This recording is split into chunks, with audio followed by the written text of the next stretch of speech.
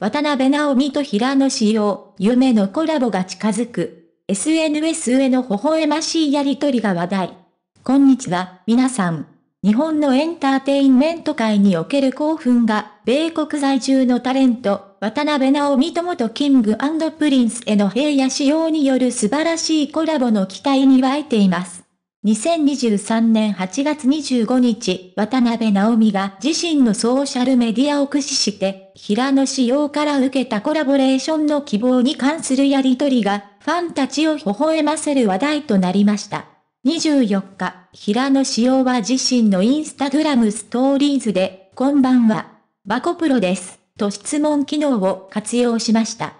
その中で、ファンから寄せられた、ナオミちゃんとコラボしてほしいというコメントに、平野は熱烈な返答をしました。いいんですか？したい。てか話したい。ちょっとしか話してないけど、めちゃくちゃ良い方なんだよ。とのこと。この一言から、平野のコラボへの熱意が伝わりますね。渡辺直美も心よく応じ、彼女のストーリーズには以下のようなメッセージが投稿されました。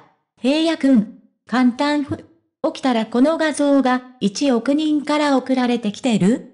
って暗い DM 来て、多様だ何が起きているかわからなくて、とりあえず携帯投げたよ。うぜひいつか話しましょう。ただ心の準備期間だけください。簡単ふ、う。そして、平野はさらに続けて、直美さん携帯投げすぎて壊れちゃう。準備できたら教えてくださいね。との返信を寄せました。このやりとりからは、お互いの友情とコラボへの興奮が伝わってきます。この微笑ましいやりとりに対して、SNS 上では、たくさんの声が寄せられています。ダンスコラボとかみたい。渡辺直美×平野仕様ほど楽しみなことない、小二人のやりとりが微笑ましい実現してほしすぎる。ワクワクしかないといったコメントがファンたちの期待を表しています。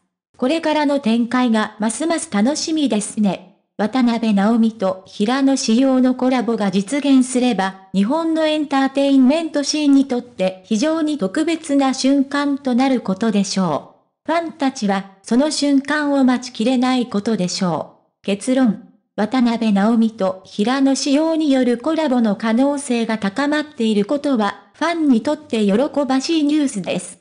彼らの微笑ましいやりとりは、友情とエンターテインメントの素晴らしい融合を示しており、多くの人々がその実現を待ち望んでいます。